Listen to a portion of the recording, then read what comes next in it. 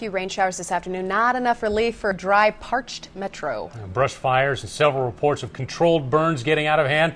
It's keeping firefighters busy. Just this morning in Underwood, for example, a spark from a train's wheel started this fire along the tracks. Wednesday morning, a brush fire rekindled near 264th and Ida. No one was hurt in either one, but it is a reminder of how easily a fire can start. KETV Newswatch 7's Holly McCarthy is live in the Newsplex.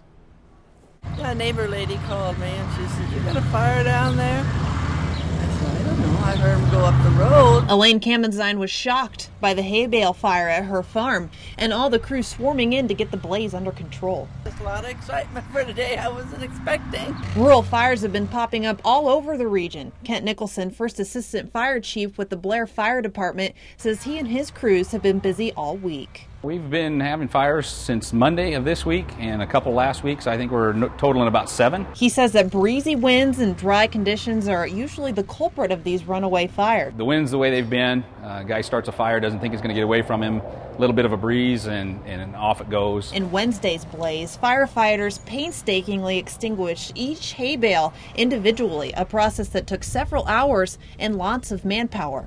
Hay bale fires tremendous, whether you have two or 100 30 or 40 that they had yesterday.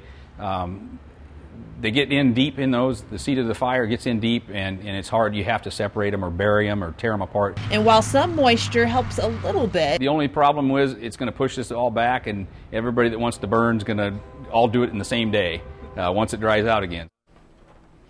Now, the Blair Fire Department has been fighting these grass and brush fires along with help from several other volunteer squads in and around Washington County, including Kennard, Fort Calhoun, many others.